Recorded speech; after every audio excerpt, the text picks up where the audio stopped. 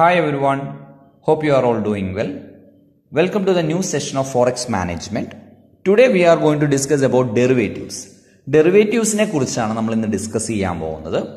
അതിലെ എന്താണ് ഡെറിവേറ്റീവ്സ് എന്ന് നമുക്ക് ആദ്യം നോക്കാം. What is derivative derivative is a financial instrument whose value is derived from an underlying asset see ആ വേർഡ് ടേമിൽ തന്നെയുണ്ട്. It is the word it is a derivative that is derivatives derived ഇത് derive ചെയ്തിരിക്കുകയാണ്. Actually ഡെറിവേറ്റീവ്സിന് സ്വന്തമായിട്ട് ഒരു നിലനിൽപ്പില്ല സ്വന്തമായിട്ട് ഒരു വാല്യൂ ഇല്ല. This particular instrument whose value is derived from an underlying asset underlying asset എന്ന് പറഞ്ഞാൽ എന്താവാം? ഇപ്പം നമ്മൾ ഫിനാൻഷ്യൽ ഇൻസ്ട്രുമെന്റ്സ് എടുത്ത് നോക്കുകയാണെങ്കിൽ ഏതോ ആവട്ടെ സ്റ്റോക്കുകളാണ് ബോണ്ട് കമോഡിറ്റീസ് കറൻസി ഏത് അസറ്റ് ആണെങ്കിലും ഏതെങ്കിലും ഒരു അസറ്റിന്റെ അടിസ്ഥാനത്തിൽ ഈ ഒരു വാല്യൂ നമുക്ക് ഡിസൈഡ് ചെയ്യാൻ പറ്റും. Basically it is a contract contract between two parties രണ്ട് പാർട്ടീസ് തമ്മിലുള്ള കോൺട്രാക്റ്റ് ആണ്. ആ കോൺട്രാക്ട് എന്ന് പറയുന്നത് ഇറ്റ് ഈസ് എ കോൺട്രാക്ട് അല്ലാതെ അല്ലാതെ ഇതിന് സ്വന്തമായിട്ടൊരു വാല്യൂ ഉണ്ടെന്ന് നമുക്ക് പറയാൻ പറ്റത്തില്ല. We are actually making a contract contract എന്ന് പറഞ്ഞാൽ മിനിമം രണ്ട് പാർട്ടീസ് ഉണ്ടാവും.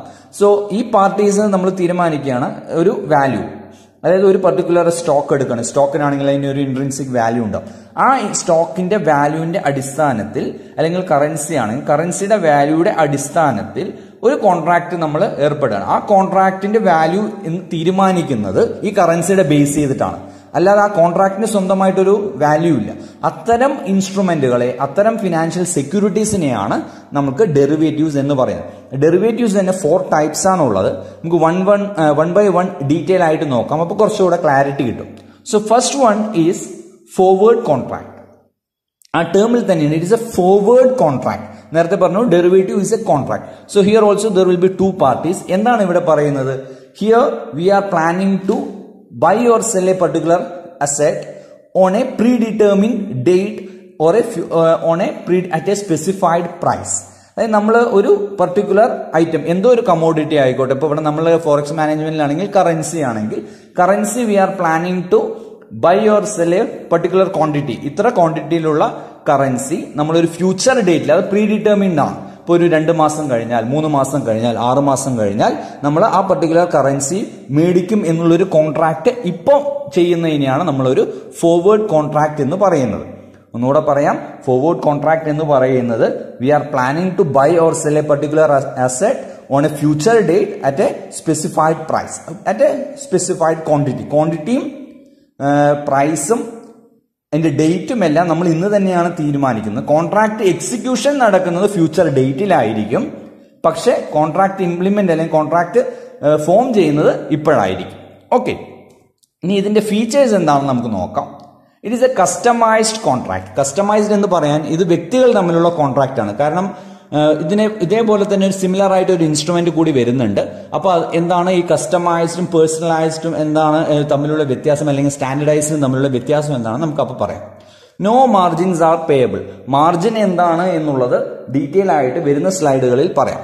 Okay the next one here കാരണം പാർട്ടീസ് തമ്മിലാണ് ഇവിടെ കസ്റ്റമൈസ്ഡ് ആയതുകൊണ്ട് തന്നെ നെഗോഷിയേഷൻ എന്ന് പറയുന്നത് ഇവിടെ നെഗോഷിയേഷൻ സ്കില്ല് വളരെ കൂടുതലാണ്. കാരണം ഈ കോൺട്രാക്ടിന്റെ വാല്യൂ ഡിറ്റർമിൻ ചെയ്യുന്നത് ആർക്കാണോ ബാർഗൈനിങ് പവർ കൂടുതലുള്ളത് ആർക്കാണോ നെഗോഷിയേഷൻ സ്കില്ല് കൂടുതലുള്ളത് അവർക്കാണ് അത് ഫേവറബിൾ ആവുന്ന ഒരു സിറ്റുവേഷനിലേക്ക് വരിക. ദെൻ ഇതിനൊരു പർട്ടിക്കുലർ എക്സ്പയറി ഡേറ്റ് ഉണ്ട്. ആ ഒരു പർട്ടിക്കുലർ ഡേറ്റിൽ മാത്രമായിരിക്കും ഈ കോൺട്രാക്ട് സെറ്റിൽമെന്റ് നടക്കാറ്. ഇത് മറ്റ് ഫ്യൂച്ചേഴ്സ് എന്ന് പറയുന്ന ഒരു കോൺട്രാക്ട് ഉണ്ട് അതിലേക്ക് വരുന്ന സമയത്ത് അത് അങ്ങനെയല്ല എന്ന് പറയുന്നുണ്ട്. അത് നമുക്ക് ആ ഒരു സമയത്ത് നോക്കാം. Then there is a counter party risk കാരണം ഇത് പാർട്ടികൾ തമ്മിലുള്ളതാണ് സ്വന്തം വ്യക്തികൾ തമ്മിലുള്ളത് കൊണ്ട് തന്നെ വ്യക്തികൾ പറ്റിക്കപ്പെടാനുള്ള സാധ്യതകളുണ്ട്. അത് ഏതൊക്കെയാണ് റിസ്കുകൾ വരുന്നത് എന്നുള്ളത് നമുക്ക് അടുത്ത സ്ലൈഡിൽ നോക്കാം. പിന്നെ ഈ പർട്ടിക്കുലർ കോൺട്രാക്റ്റിന്റെ വാല്യൂ എന്ന് പറയുന്നത് ഈ പാർട്ടികൾ തമ്മിൽ തന്നെ ഡിസൈഡ് ചെയ്തുകൊണ്ട് തന്നെ ഒരു ന്യൂസ് പേപ്പറിൽ ഇപ്പോൾ സ്റ്റോക്കുകളുടെ പ്രൈസ് ഒക്കെ എടുക്കുകയാണെങ്കിൽ നമുക്ക് ന്യൂസ് പേപ്പറിൽ കാണാൻ പറ്റും. അല്ലെങ്കിൽ ഫോർവേഡ് ഫ്യൂച്ചേഴ്സിന്റെ പ്രൈസ് എടുക്കുകയാണ് ഓപ്ഷൻസിന്റെ പ്രൈസ് എടുക്കുകയാണ് കറൻസിയുടെ പ്രൈസ് എടുക്കുകയാണെന്നെല്ലാം നമുക്ക് എന്ത് ചെയ്യാം എല്ലാം പബ്ലിക് ഡൊമൈനിൽ അവൈലബിൾ ആണ്. But not in the case of a forward contract nor ഇതിൽ നമുക്ക് ഫോർവേഡ് കോൺട്രാക്ടിന്റെ കേസിൽ നമ്മൾ പറയുന്ന സമയത്ത് നമ്മൾ ഈ കോൺട്രാക്റ്റിൽ എന്തെങ്കിലും ഓൾട്ടറേഷൻസ് വരുത്തണം എന്നുള്ള ഒരു സിറ്റുവേഷനിലേക്ക് വരികയാണ്. അല്ലെങ്കിൽ ആർക്കെങ്കിലും ഒരാൾക്ക് ഈ കോൺട്രാക്റ്റിൽ നിന്ന് എക്സിറ്റ് ആവണം എന്ന് പറയുകയാണെങ്കിൽ വേറൊരു പാർട്ടി എന്താണ് അല്ലെങ്കിൽ എക്സിറ്റ് ആവാത്ത പാർട്ടിയെ സംബന്ധിച്ചിടത്തോളം അദ്ദേഹം he will be in a monopoly situation കാരണം അദ്ദേഹം പറയുന്നത് മറ്റുള്ളവരെ അംഗീകരിക്കേണ്ട ആ ഒരു സിറ്റുവേഷൻ വരും. കാരണം ഇവിടെ മറ്റുള്ള ഒരാൾക്ക് കോൺട്രാക്ട് കൈമാറാൻ വളരെ ബുദ്ധിമുട്ടാണ്. ഇതാണ് ഇതിന്റെ ഫീച്ചേഴ്സ് ആയിട്ട് പറഞ്ഞത്. നേരത്തെ പറഞ്ഞു ഇതിന്റെ കൗണ്ടർ പാർട്ടി റിസ്ക് ഉണ്ടെന്ന് പറഞ്ഞു. അതിൽ ഏതൊക്കെയാണ് റിസ്കുകൾ വരുന്നത് ഫോർവേഡിൽ എന്ന് നോക്കാം. ഫസ്റ്റ് വൺ ക്രെഡിറ്റ് റിസ്ക് ആണ്. ഇപ്പൊ നമ്മൾ ബയ്യറും സെല്ലറും ഉണ്ടാവും. ബയ്യർ ഐറ്റം മേടിച്ചതിന് ശേഷം പേയ്മെന്റ് നടത്താതെ വരുന്ന ഒരു സിറ്റുവേഷൻ ഉണ്ടാവാം. രണ്ടാമത്തത് എന്ന് പറയുന്നത് ഓപ്പറേഷണൽ റിസ്ക് ആണ്. ഓപ്പറേഷണൽ റിസ്ക് എന്ന് പറയുന്നത് ഡെലിവറിയുടെ സൈഡാണ് ഒന്ന് ബയ്യർ ഈ സാധനം അക്സെപ്റ്റ് ചെയ്യാതിരിക്കാം. രണ്ട് സെല്ലർ ഈ സാധനം കൊടുക്കാതിരിക്കാം. അത് രണ്ടും ഒരു ഓപ്പറേഷൻ റിസ്ക് ആയിട്ട് വരുന്നതാണ്. Then third one liquidity risk പെട്ടെന്ന് തന്നെ ക്യാഷ് ആയിട്ട് കാരണം we have to wait for two months or three months അല്ലെങ്കിൽ സിക്സ് മന്ത്സ് എത്രയാണോ എക്സ്പയറി ഡേറ്റ് അതുവരെ നമുക്ക് വെയിറ്റ് ചെയ്യേണ്ടി വരും. എന്നാലേ നമുക്ക് ക്യാഷ് കിട്ടത്തുള്ളൂ.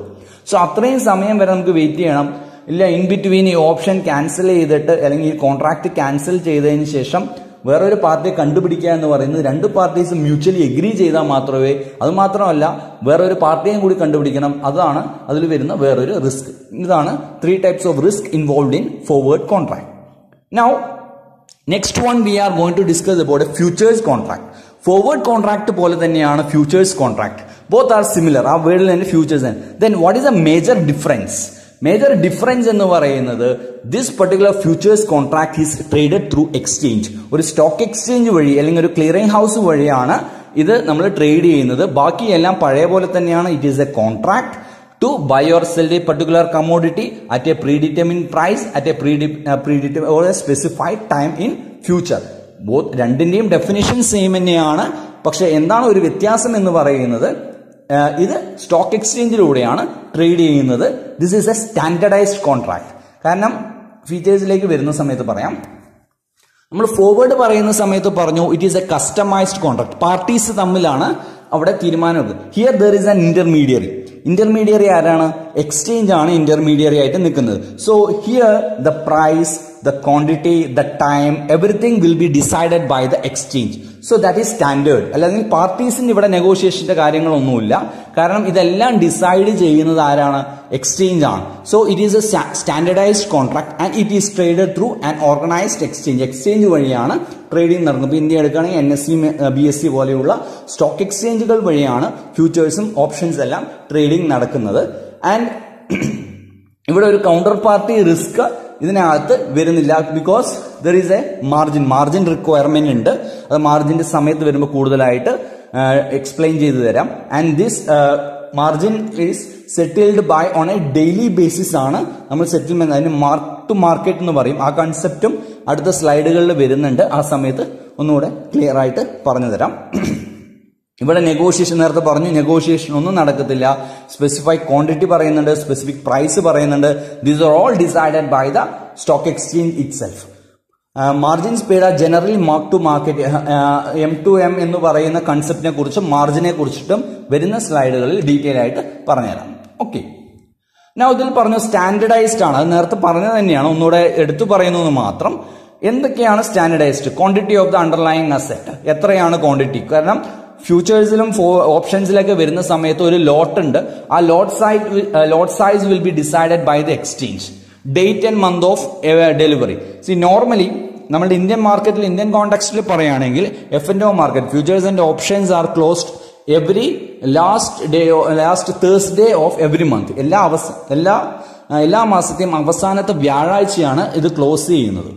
ദെൻ എത്രയാണ് ഇതിന്റെ പ്രൈസ് എത്രയാണ് മിനിമം പ്രൈസ് ചേഞ്ച് എന്ന് തുടങ്ങിയിട്ടുള്ള കാര്യങ്ങളെല്ലാം ഡിസൈഡ് ചെയ്യുന്നത് എക്സ്ചേഞ്ച് തന്നെയാണ്. That is why it is called as a standardized contract then കുറച്ച് ടേമുകൾ ഇതിനകത്ത് വരുന്നുണ്ട്. ഒന്ന് കോൺട്രാക്ട് സൈസ് നേരത്തെ പറഞ്ഞു അല്ലെങ്കിൽ കോൺട്രാക്ട് വാല്യൂ എന്നാണ് ഇതിൽ പറയുന്നത്. കോൺട്രാക്ട് സൈസ് എന്ന് പറയുമ്പോൾ ഫോർ എക്സാമ്പിൾ ഇൻഫോസിസ് നമ്മൾ ഷെയർ ഒക്കെ ആണെങ്കിൽ നമുക്ക് ഒരു ഷെയർ മേടിക്കാൻ പറ്റും. But if you are buying a futures contract we have to buy in a lot lot ആണെന്ന് പറയുകയാണെന്നുണ്ടെങ്കിൽ ഇപ്പോൾ one lot of a futures contract of Infosys എന്ന് പറയുന്നത് one thousand two hundred shares ആണ്. സോ നമ്മൾ മേടിക്കുകയാണെങ്കിൽ വൺ തൗസൻഡ് ടു ഹൺഡ്രഡിന്റെ മൾട്ടിപ്പിൾസിന് മാത്രമേ നമുക്ക് മേടിക്കാൻ പറ്റത്തുള്ളൂ. Then next one is about the contract cycle contract cycle വരുന്നത് one month two month three month എന്നുള്ള രീതിയിലാണ്. വൺ മന്ത് എന്നാൽ നിയർ മന്ത് അല്ലെങ്കിൽ നെക്സ്റ്റ് മന്ത് അല്ലെങ്കിൽ ഫോർ മന്ത് എന്നുള്ള രീതിയിലും പറയാറുണ്ട്. ദെൻ എക്സ്പയറി ഡേറ്റ് ഞാൻ നേരത്തെ പറഞ്ഞ പോലെ എല്ലാ മാസത്തിലും അവസാനത്തെ വ്യാഴാഴ്ചയാണ്. അപ്പോൾ ആ ദിവസം പബ്ലിക് ഹോളിഡേ ആണെങ്കിൽ അതിന്റെ പ്രീവിയസ് ഡേ ആണ് എക്സ്പയറി വരുന്നത്. ഓക്കെ ദെൻ സ്ട്രൈക്ക് പ്രൈസ് എന്ന് പറയുന്നത് ഇതിന്റെ പ്രാക്ടിക്കൽ സൈഡ് അല്ലെങ്കിൽ പ്രാക്ടിക്കൽ വേർഷൻ കൂടി പറയുന്നുണ്ട്. അത് നമുക്ക് വരുന്ന സെക്ഷനിൽ കാണിച്ചു തരാം. ആ സമയത്ത് കൂടുതലായിട്ട് ഇതിന്റെ എങ്ങനെയാണ് സ്ട്രൈക്ക് പ്രൈസ് വരുന്നതെന്നും പറയാം. ഓക്കെ ദെൻ ഞാൻ നേരത്തെ പറഞ്ഞു മാർജിൻ എന്ന എന്താണെന്നുള്ളത്. സി ഫോർവേഡ് പറയുന്ന സമയത്ത് പറഞ്ഞു there is a chance for counter party risk പക്ഷേ ഫ്യൂച്ചറിന്റെ കേസിൽ പറയും വരുന്ന സമയത്ത് പറഞ്ഞു കൗണ്ടർ പാർട്ടി റിസ്ക് ഇല്ല എന്ന് പറഞ്ഞു. അതിന് കാരണം എന്ന് പറയുന്നത് മാർജിനാണ് മാർജിൻ എന്ന് പറയുന്നത് നമ്മൾ ഇപ്പൊ നേരത്തെ പറഞ്ഞു മൂന്ന് മാസം കഴിഞ്ഞിട്ടാണ് നമ്മൾ ഈ കോൺട്രാക്ട് എക്സിക്യൂട്ട് ചെയ്യുന്നത്. ആ സമയത്ത് നമുക്ക് പറ്റി പറ്റിച്ചാൽ എന്ത് ചെയ്യാൻ പറ്റും? അപ്പോൾ ആ ഒരു പറ്റിക്കലിനെ ഒഴിവാക്കാൻ വേണ്ടിയിട്ട് എത്രയാണോ കോൺട്രാക്റ്റിന്റെ വാല്യൂ ആ കോൺട്രാക്ടിന്റെ വാല്യൂയുടെ ഒരു നിശ്ചിത ശതമാനം certain percentage we have to pay in advance അത്തരം എമൗണ്ടിനെയാണ് നമ്മൾ എന്ത് പറയുന്നത്? മാർജിൻ എന്ന് പറയുന്നത്. ദാറ്റ് ഈസ് നമ്മൾ ആ ഒരു എക്സ്ചേഞ്ചിൽ അല്ലെങ്കിൽ ആ ഒരു ക്ലിയറിംഗ് ഹൗസിൽ ബയറും സെല്ലറും ഒരു നിശ്ചിത തുക നമ്മൾ ഇനീഷ്യലി തന്നെ എവിടെ എവിടെ നമുക്ക് ഡെപ്പോസിറ്റ് ചെയ്യണം? നമ്മുടെ ആ ഒരു എക്സ്ചേഞ്ചിൽ നമ്മുടെ ട്രേഡിംഗ് അക്കൗണ്ടിൽ ഡെപ്പോസിറ്റ് ചെയ്യണം. അത്തരം എമൗണ്ടിനെയാണ് നമ്മൾ മാർജിൻ എമൗണ്ട് എന്ന് പറയുന്നത്. ഇത് നമ്മൾക്ക് മാൻഡേറ്ററി ആണ്. കാരണം ഇത്തരം പെർഫോം ഇത്തരം കോൺട്രാക്റ്റുകൾക്ക് കാരണം സ്റ്റാൻഡർഡൈസ് ആയതുകൊണ്ട് തന്നെ പറ്റിക്കപ്പെടാനുള്ള സാധ്യതകൾ കൂടുതലുള്ളതുകൊണ്ട് തന്നെ അത് ഒഴിവാക്കാൻ വേണ്ടിയും ഈ പർട്ടിക്കുലർ ഇൻസ്ട്രുമെന്റ് കൂടുതൽ അട്രാക്റ്റീവ് ആവാൻ വേണ്ടിയിട്ടുമാണ് ഈ ഒരു കൺസെപ്റ്റ് എക്സ്ചേഞ്ചുകൾ ഇൻട്രൊഡ്യൂസ് ചെയ്തത്. സോ ഇറ്റ് വിൽ നേരത്തെ പറഞ്ഞു it will reduce the counter party risk then what is mark to market mark to market എന്ന് പറയുന്നത് ഫോർവേഡിൽ നേരത്തെ പറഞ്ഞിട്ടുണ്ടായിരുന്നു എപ്പോഴാണ് ഇതിന്റെ സെറ്റിൽമെന്റ് നടക്കുന്നത് എക്സ്പയറി ഡേറ്റിൽ മാത്രമാണ്. എപ്പോഴാണോ ആ ഒരു ഡേറ്റ് പറഞ്ഞിട്ടുള്ളത് ആ ഒരു സമയത്താണ് ഇതിന്റെ സെറ്റിൽമെന്റ് നടക്കുന്നത്.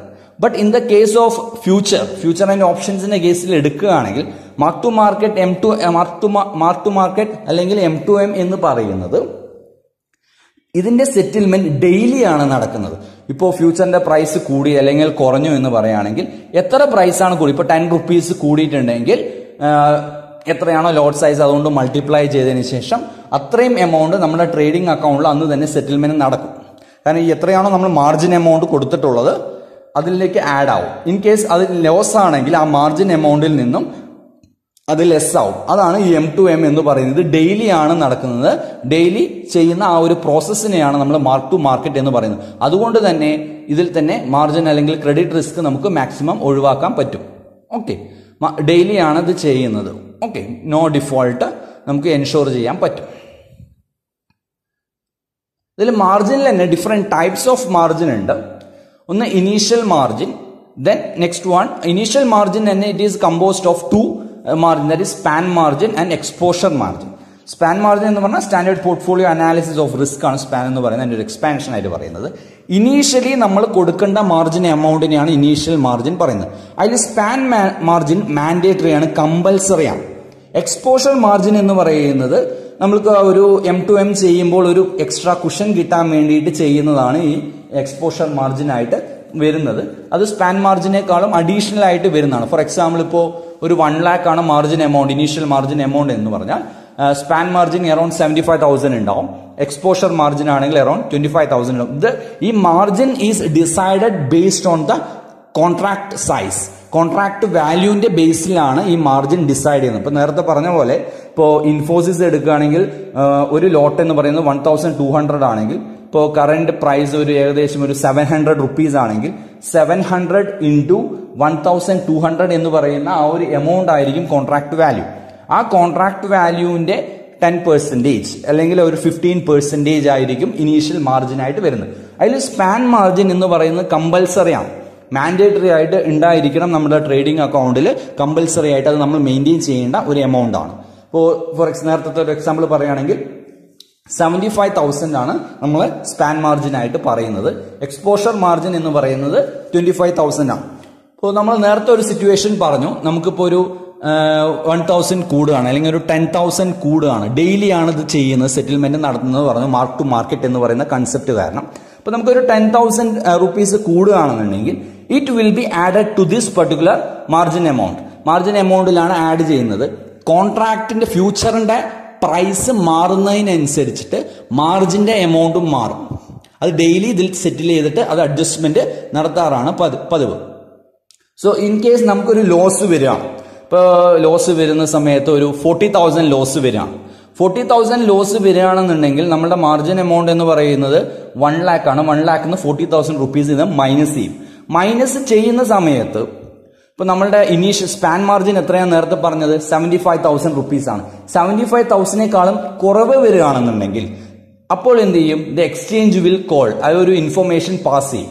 കാരണം മാർജിൻ കോൾ അതിനെയാണ് മാർജിൻ കോൾ എന്ന് പറയുന്നത്. If the amount in the margin account falls below the span margin span മാർജിനേക്കാളും കുറവ് വരികയാണെന്നുണ്ടെങ്കിൽ ആ ഒരു മാർജിൻ ഫില്ല് ചെയ്യാൻ ആ ഒരു ഗ്യാപ്പ് ഫില്ല് ചെയ്യാൻ വേണ്ടിയിട്ടാണ് എക്സ്ചേഞ്ച് കോൾ ചെയ്യുന്നത്. ഇത് കാരണം മാൻഡേറ്ററി ആണ് നിർബന്ധമായിട്ടും അത് എടുത്തു വെക്കേണ്ടതാണ് സോ അതുകൊണ്ട് തന്നെ നമുക്ക് എന്ത് ചെയ്യണം? In case if they are if നമ്മളത് ആ ഒരു എമൗണ്ട് അതിലേക്ക് ചെയ്തിട്ടില്ലെങ്കിൽ ദ എക്സ്ചേഞ്ച് ഈസ് ഫോഴ്സ്ഫുള്ളി തന്നെ എന്ത് ചെയ്യേണ്ടി വരും? ആ അക്കൗണ്ട് അല്ലെങ്കിൽ ആ ഒരു ഫോർവേഡ് കോൺട്രാക്ട് എന്ത് ചെയ്യും? ക്ലോസ് ചെയ്യേണ്ടി വരും. അത് ഒഴിവാക്കാൻ വേണ്ടിയിട്ട് അത് നമ്മൾ ആ ഒരു എമൗണ്ട് എത്രയാണോ അതിനനുസരിച്ചിട്ട് ഡെപ്പോസിറ്റ് ചെയ്യണം.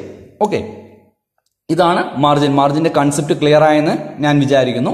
Now you will see the difference between the forward and future forward നേരത്തെ പറഞ്ഞു it is traded between the parties so അത് ഒരു ഓവർ ദ കൗണ്ടറിലൂടെ മാത്രമേ trading നടക്കാറുള്ളൂ.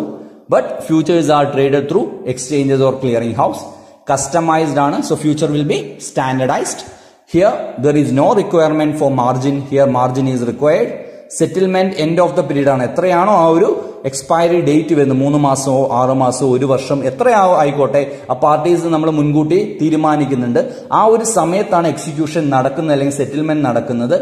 Here based on mark to M to M daily settlement ആണ് നടക്കാറ്. Here market transparent അല്ല എന്ന് പറഞ്ഞാൽ ഈ പാർട്ടീസിന് മാത്രമേ ഈ കോൺട്രാക്ടിനകത്തുള്ള ടേംസും കണ്ടീഷൻസ് ഒക്കെ അറിയാൻ പറ്റത്തുള്ളൂ. Here the contract is traded through exchange എക്സ്ചേഞ്ചിൽ ട്രേഡ് ചെയ്യുന്നതുകൊണ്ട് എല്ലാ ഇൻഫർമേഷനും പബ്ലിക് ഡൊമൈനിൽ അവൈലബിൾ ആണ്. സോ നമ്മൾ ന്യൂസ് പേപ്പർ എടുത്ത് നോക്കുകയാണെങ്കിലും ഇന്റർനെറ്റ് എടുത്ത് നോക്കുകയാണെങ്കിലും എല്ലാ കമ്പനിയുടെ ആണെങ്കിലും എല്ലാ ഇൻഫർമേഷനും എല്ലാ പ്രൈസും എല്ലാം അവൈലബിൾ ആണ്. So the markets are transparent here no M to M is happening on a daily basis here mark to market is happening on a daily basis M to M എന്താണെന്ന് മനസ്സിലായെന്ന് വിചാരിക്കുന്നു. Then there is no prior delivery here clause to pri- prior to delivery here നമ്മൾ നേരത്തെ പറഞ്ഞു ഒരു counter പാർട്ടിയെ നമുക്ക് കണ്ടുപിടിക്കാൻ ബുദ്ധിമുട്ടാണെന്ന് പറഞ്ഞു in the case of forward but in the case of future അത്തരം ഒരു ബുദ്ധിമുട്ടുകളില്ല. കാരണം സ്റ്റോക്ക് എക്സ്ചേഞ്ചിൽ ഒരുപാട് പാർട്ടീസ് എപ്പോഴും അവൈലബിൾ ആയതുകൊണ്ട് തന്നെ നമുക്ക് മിക്ക ഒരു മോസ്റ്റ് എന്താ പറയുക ആക്റ്റീവായിട്ട് ട്രേഡ് ചെയ്യുന്ന പല സെക്യൂരിറ്റീസിനെയും കൗണ്ടർ പാർട്ടീസിനും നമുക്ക് പെട്ടെന്ന് തന്നെ കിട്ടും. അതുകൊണ്ട് തന്നെ ഡെലിവറിക്ക് മുമ്പ് തന്നെ ആ ഒരു പർട്ടിക്കുലർ സെറ്റിൽമെന്റ് പീരീഡിന് മുമ്പ് തന്നെ ആ ഒരു എക്സ്പയറി ഡേറ്റിന് മുമ്പ് തന്നെ നമുക്ക് മറ്റുള്ളൊരു പാർട്ടിയെ കണ്ടുപിടിക്കാനും ഇതിനകത്ത് എളുപ്പമാണ്. ദെൻ പ്രോഫിറ്റും ലോസും റിയലൈസ് ചെയ്യുന്നത് എന്ന് പറയുന്നത് ആ ഒരു എക്സ്പയറി ഡേറ്റിൽ മാത്രമേ അറിയാൻ പറ്റത്തുള്ളൂ ആർക്കാണ് പ്രോഫിറ്റ് ആർക്കാണ് ലോസ് എന്നുള്ളത്. ഫ്യൂച്ചേഴ്സിന്റെ കേസിലാണെങ്കിൽ പ്രോഫിറ്റും ലോസും നമ്മൾ ഡെയിലി തന്നെ റിയലൈസ് ചെയ്യുന്നത്. Actually this is a zero sum game zero sum game എന്ന് പറയാൻ കാരണം ഇപ്പൊ ബയർക്ക് ഇതൊരു പ്രോഫിറ്റ് ആണെന്നുണ്ടെങ്കിൽ സെല്ലറിന് അതൊരു ലോസ് ആണ് company actually company is not gaining anything with this future or a forward contract നമ്മളിപ്പോൾ ഏതെങ്കിലും ഒരു സ്റ്റോക്കിന്റെ ഫ്യൂച്ചർ ആണ് എടുക്കുന്നതെങ്കിൽ കമ്പനീസിന് ആക്ച്വലി ഒരു ഗെയിനും ഇല്ല.